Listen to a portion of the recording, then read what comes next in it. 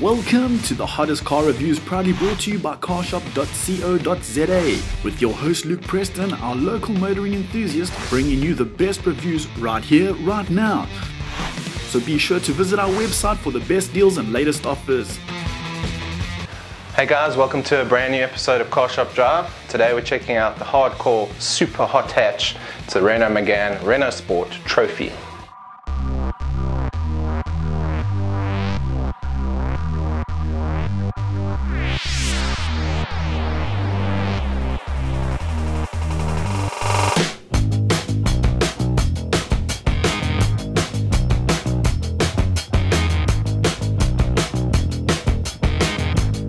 If you're a true motoring enthusiast, and I'm talking about someone who actually takes pleasure in the art of driving a car, as opposed to, well, just the way they look, then at some point in your life, you're going to aspire to own something performance orientated. The problem is though, is that, well, we don't have the money, do we? 1 million, 2 million, 3 million rand. It sort of fades into obscurity, the hopes of owning something truly special when we're talking about that much money. Even the BMW M3, which was the working man's performance car, is over a million rand these days. So what do you do? Take the plunge and maybe buy a second-hand M3? Or, well, you could buy a super hot hatch like this one. This is a Renault Sport Megane, but it's not just any Renault Sport Megane. It's a 275 trophy. And you can see because it says that here on the F1 style splitter. But there are actually a few other subtle hints that this is no stock RS Megane. For starters, front and rear wheel arches are actually wider than before. And inside those, you get nice glossy 19 inch rims. And if you look further inside, you'll see mammoth brakes by specialist Brembo. And then around the back, audiophiles, you'll like this. You get a bespoke exhaust by them exhaust fettlers Akrapovic, which makes the exhaust sound, well, very, very good. It's not all exterior go Foster bits either. The Trophy 275 sits on the Cup chassis, so it means it's more focused and stiffer than regular RS Meganes. And like the name suggests, power has been up to 275 horses, which in our speak is 201 kilowatts. 201 kilowatts through the front wheels. Oh yes.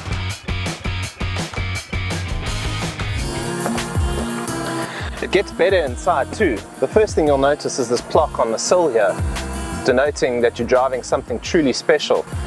This number is number 1185. Nice. These bucket seats are actually superb. They feel like they've been lifted straight out of a race car and they look the part too. They're part leather, part Alcantara. The steering wheel also Alcantara clad and it's got a nice this way up red stitching at the top. And the absolute best thing about the trophy, a manual gearbox and three pedals. Sure, there's other things. You've got back seats which are tiny and no real big person could fit into. There's also a boot which, well, fits stuff in. But to be honest, everything else in this car is superfluous. It has one true core function and that's going fast. So, does it go fast? Let's check it out.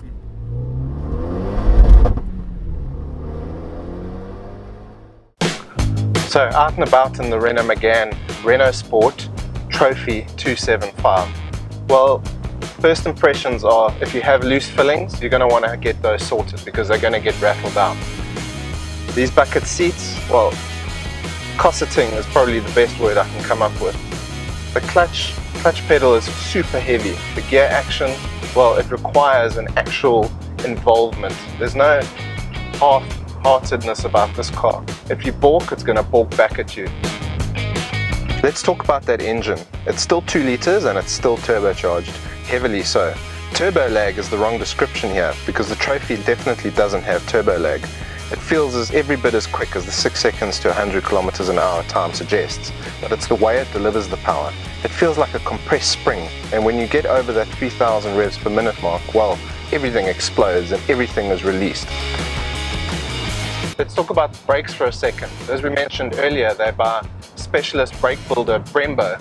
And if you don't know anything about Brembo, well, they make proper racing brakes for Formula One teams, rally drivers, and, well, anyone. And this car, you can just feel they're immense. They scrub off speed as quickly as you put speed on. So what does that mean? Well, a limited slip diff means basically get into a corner and you can power yourself out. There's no spinning up of the front wheel. So back to that ride. Yes, the trophy is stiffly sprung. You're going to have to get, get your head around that.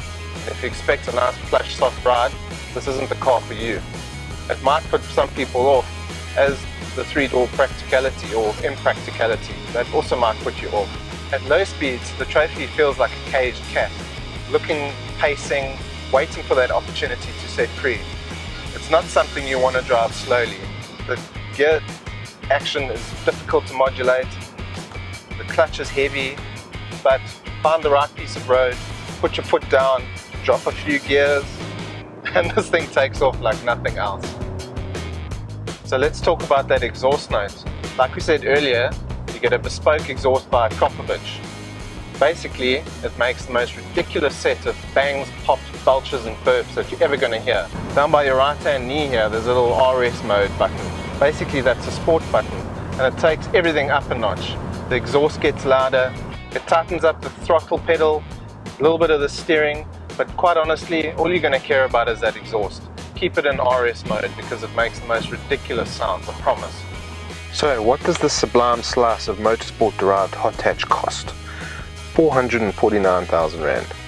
So, what does your half a million Rand get you besides one of the most focused, hardcore hot hatches on the market? Specification, if you're really bothered, includes dual front, side and curtain airbags, a tyre pressure monitoring system, two-zone climate control, electric folding door mirrors with defrost function, radio CD with MP, Bluetooth, USB and auxiliary in, a TomTom live navigation system, cruise control with speed limiter, automatic headlights and windscreen wipers, rear park assist and halogen headlights with LED daytime running lights. For the serious enthusiast who has access to a racetrack, and for those who just like to geek out, the Trophy has an RS monitor with full 3D race telemetry with data download functionality, meaning you can watch your boost, torque, g-force and lap times and then download it, print it out and gloat and bore your friends to death with it. Thanks for watching guys, that's it for today. Make sure you check us out on Facebook and Twitter, comment if you want, and visit carshop.co.za for great specials on used cars.